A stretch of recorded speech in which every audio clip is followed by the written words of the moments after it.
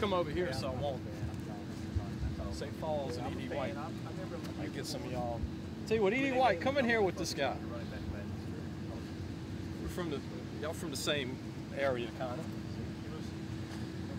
All right, guys. I know Thibodaux's not Galliano and it's not LaRose, but y'all are close.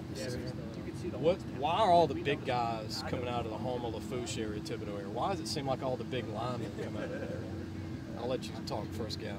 Find that we kind of all the backs and all get talked about. We're, we're always making the holes and make pushing it so they get the yards.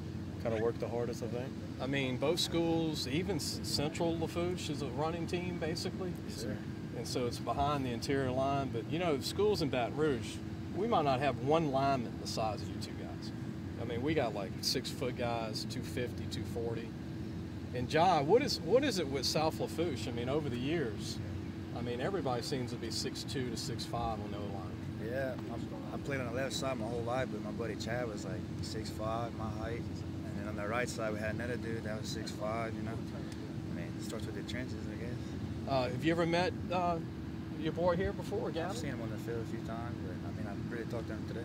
Gavin, you play any D line? Uh, played in the past, yes, sir. You might have to face this guy uh, in a scrimmage or something coming up. Do y'all schedule one another this coming Yeah, up? we played. Yes, sir. We play each other. Yes, sir. Y'all haven't met before today?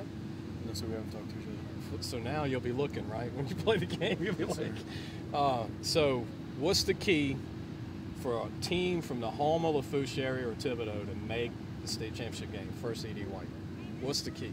I think overall is is planning. It's it's us both sides of the ball having a good defensive and offensive plan, know what we're doing, and going and execute it. Sou- It's been a long time since South Lafourche has made the state championship since Ed Orgeron was on the team. Yes, sir.